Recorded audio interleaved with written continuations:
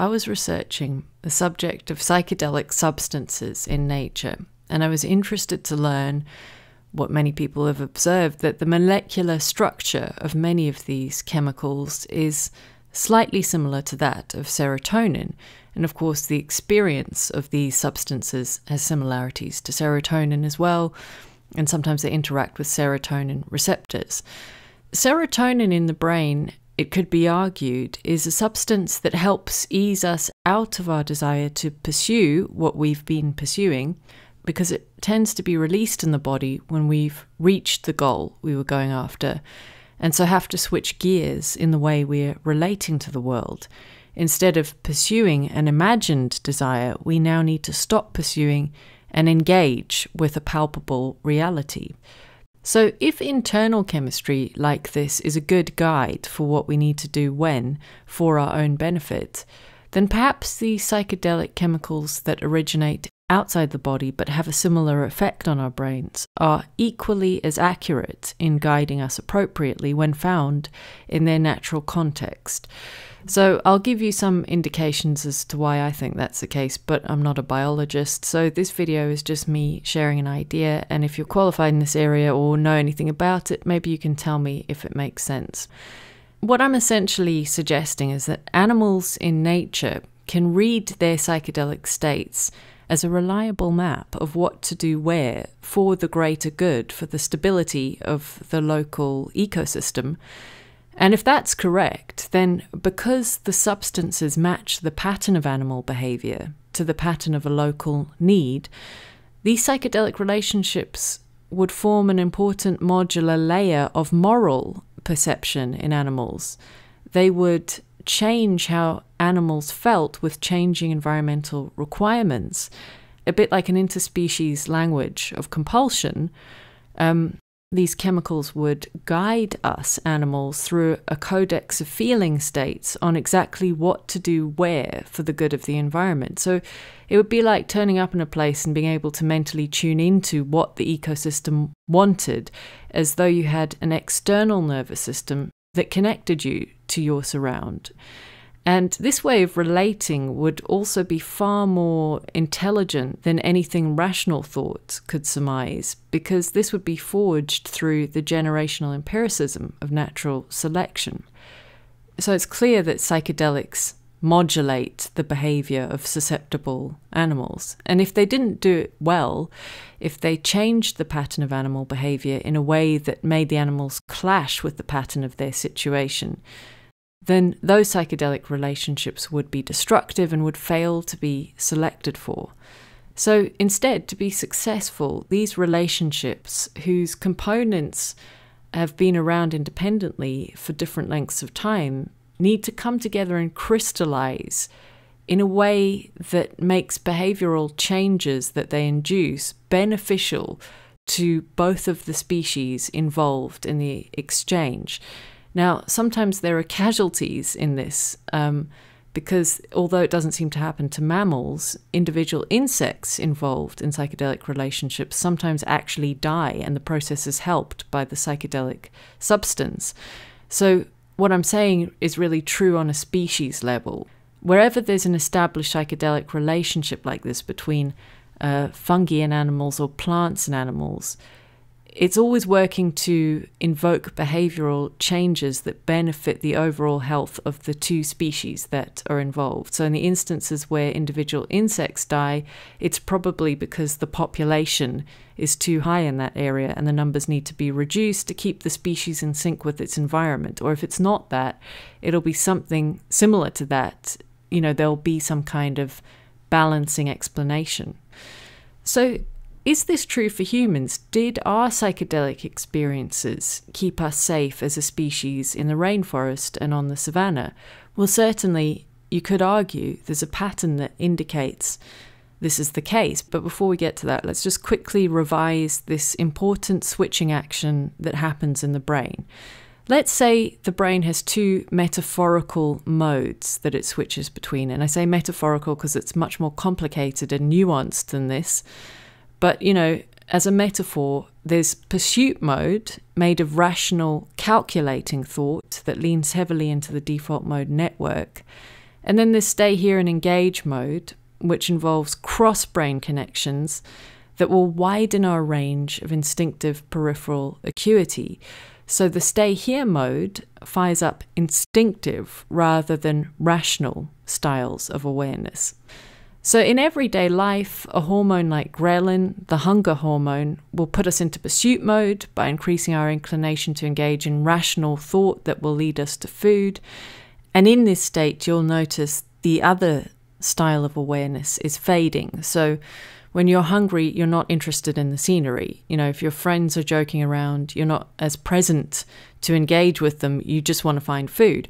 Once you've found food, however, dopamine and serotonin, amongst other things, ease you out of this rational calculation and desire to pursue, and your range of instinctive peripheral acuity starts to expand again, and you feel more connected to your surroundings. And this is why there's a link between heightened states of pleasure and genuine peripheral acuity. You know, it's why a good meal sometimes feels like it equals the universe. It's why a connection with lovers and friends makes the world seem solid and meaningful and instinctively legible somehow. You know, that feeling where everything makes sense, but you couldn't exactly explain it to anyone else.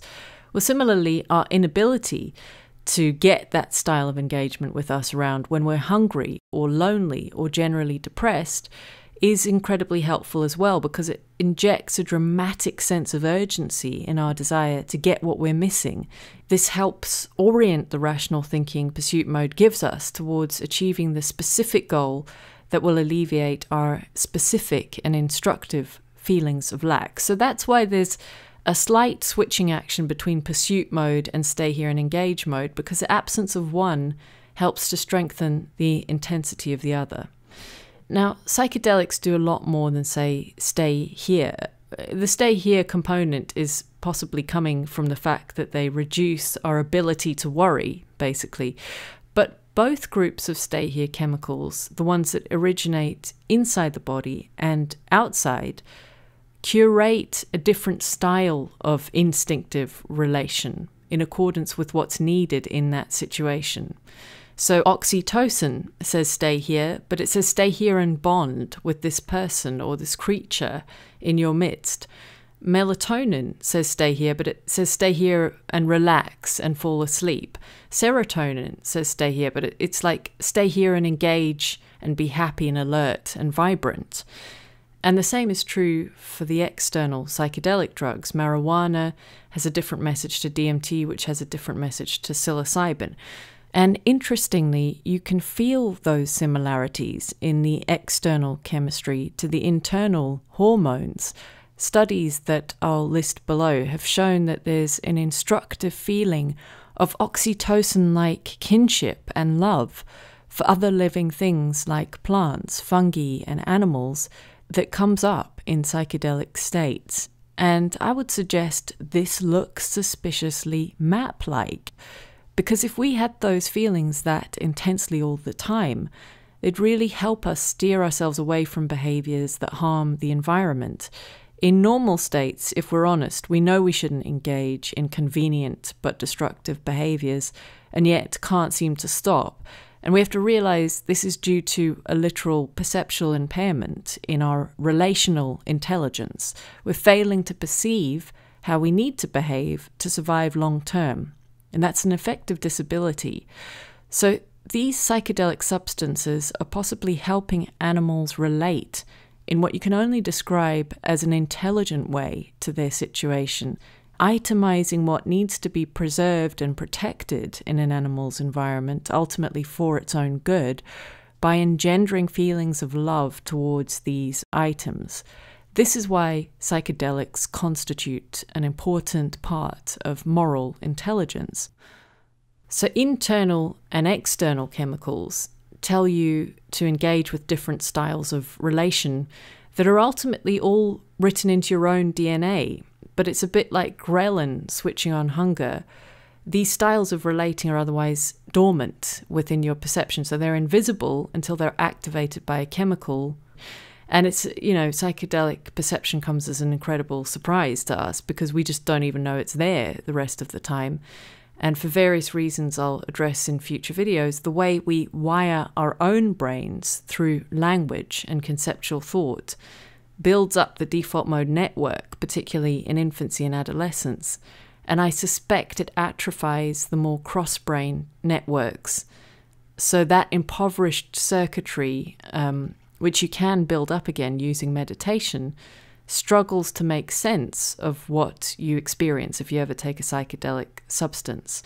The other problem is if psychedelic drugs are like a feeling map of their area, then we don't take them in their natural context. So if you feel great in a London basement because you've taken psilocybin, actually that signal is not instructive of how you should be feeling. It's not relevant to what you're doing. So it's a style of delusion. You know, that had only been selected for to be accurate if taken in its natural context.